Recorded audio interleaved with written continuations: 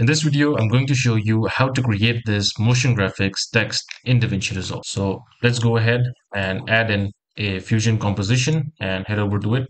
Let's add in this background, connect the background to the media out. All right, and now let's go ahead and add in our text. So connect the text with the background.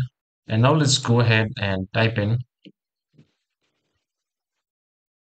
the text and let's change the font to Montserrat.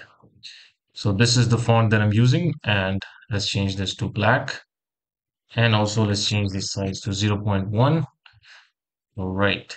And now let's go ahead add in another text. And this time let's copy the text from here. So you can just control C, copy this node and then right click on this node and paste settings. And now if we connect this right here, let's just go ahead to text 2 and make sure you have this selected and press control space and then search for duplicate.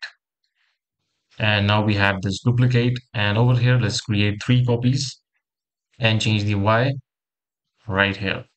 Now let's go ahead and add in another text and once again I'm going to copy the same settings from text 1 by control C and then right click and then paste settings in the text 3 then you can connect it with merge 2 and this time once again select your text 3 and press control space and search for duplicate and add a duplicate and once again, three copies, but this time this will be in the downwards direction. So something like this. All right, so now we need to add this rectangle mask for both of these. So let's do this for the first duplicate. You can add this to text 2 right here. And let's go ahead and move this right here. And now let's do the same thing for text 3 and this time this will be in the downwards direction. So let's change the y. Somewhere around here 0.56 and then this one at somewhere around 0.43 0.44 all right and now let's go ahead and start animating this. So at 10 frames let's go ahead and create a keyframe at text in size. Then go over to 0 and change this to 0. 0505 and we need to do the same thing for the text 2 and text 3 as well. So what we can do is just go over to 10th frame create a keyframe for size for this one as well. And for the text 3 we're going to do the same thing. And once again let's go to 0 frames and then change this to 0.05 and also for the text 3 let's change this to 0.05 and now you will see this is how it looks all right, and now let's go ahead and add another animation. So right here at 20, let's go over to text 2 in shading, create a keyframe at 10 frames in appearance, and then at 20 frames, change this to outline. And now we're going to do the same thing for text 3. Let's go over to shading, keyframe at appearance, and then at 20, change this to outline. So this is how it will look. And if you play this now, this is how it will look. All right, now let's go over to five frames and then create a keyframe for duplicate. So go over to duplicate and let's create a keyframe at center and, and let's do the same thing for duplicate two. And now let's go over at 15. Once again, create keyframes for both of these. And then, so now at five, let's go ahead and change the y-axis to 0.5 and do the same thing for this one as well 0.5 and now if you play this this is how it will look.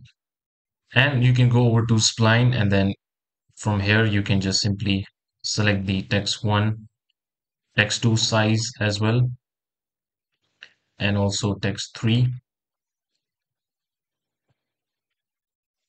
and let's select all of these and hit S on the keyboard. So if you play this now here you will see we get this nice animation. All right. And now let's also do this for the duplicates as well.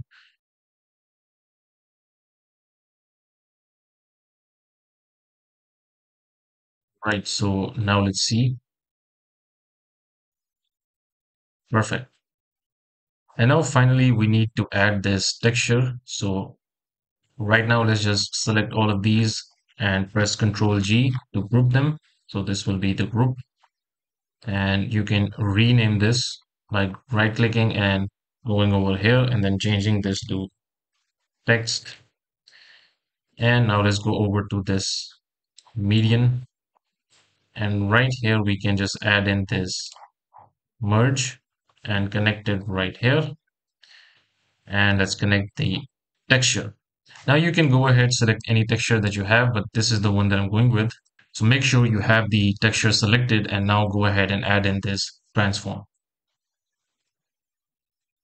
And now right click at center go over to modify width and then select shake and right click at angle go to modify width and once again select shake now go ahead and change the edges to mirror.